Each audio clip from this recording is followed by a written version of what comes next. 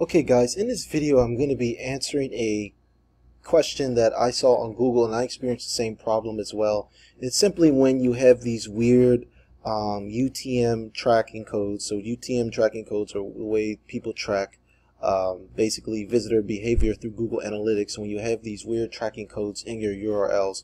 So for me personally what happened was is that this code, so as you can see here, why I have this strange ending my URLs can be removed via Google search, I noticed my URLs had a following weird ending. So my my uh, links had the same ending as well. So for one of my websites, for example, the, the links would look something like this.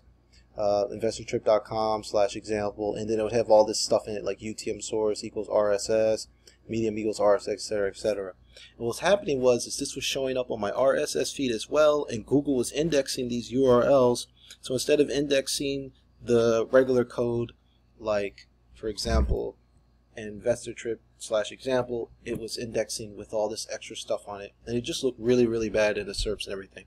So I'm going to show you guys really quickly and easily how to remove this.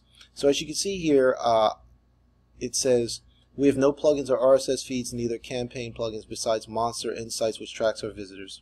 Okay, yes, so there is a way to remove this, and I actually had the Monster Insights plugin as well, so that's why I knew that was the culprit.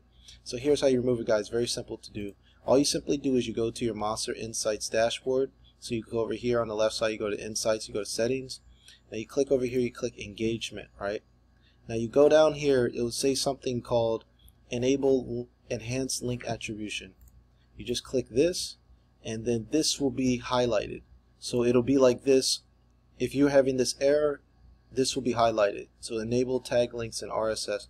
So what you want to do is you want to make sure that this is to the left side. So you want to disable this feature and then it should update automatically. So that what I did was is I simply uh, disabled this enable tag links and RSS and then I posted a new article and then uh, as you can see all my links went back to normal so I'll just show you guys an example of my RSS feed how everything went back to normal so it's a really quick fix uh, you know I saw a lot of people uh, having the same problems. As you can see here, my links are back to normal. Before I had all this RSS stuff in it.